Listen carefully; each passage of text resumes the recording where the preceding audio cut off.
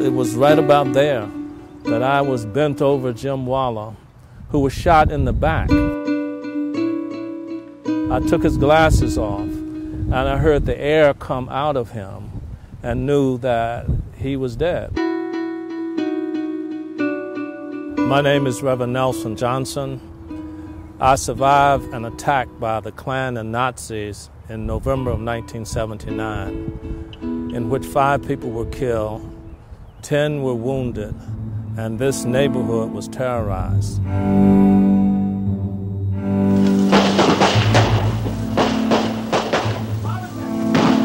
Approximately where I'm standing, maybe a little bit behind me, people were gathering and they were singing and they were chanting.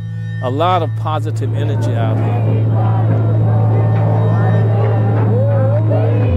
About 20 minutes after 11, the Klan caravan, a line of cars came down and turned in this direction. When the eighth car in a nine car caravan stopped and the back of the trunk came up and people got out of the ninth car, came up to the eighth car, retrieved long weapons, uh, looked like shotguns, and started to fire in the direction of the crowd.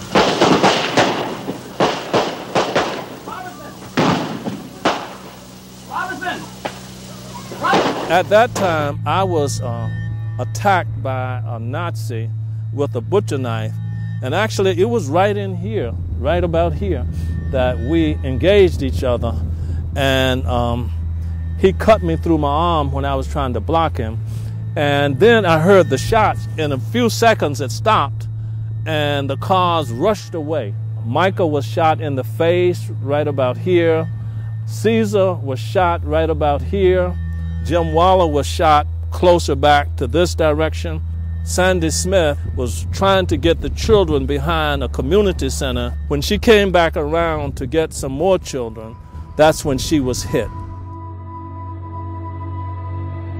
The stump of the tree is the only thing out here that provides a little bit of a land marker for where things happen because the bodies were on this side and um, I really didn't know this tree had been cut down until I came out here today. But cutting of this tree is like unpiling the stones that the priests piled up when they crossed over the river, river Jordan, so that when your children's children ask, What happened here?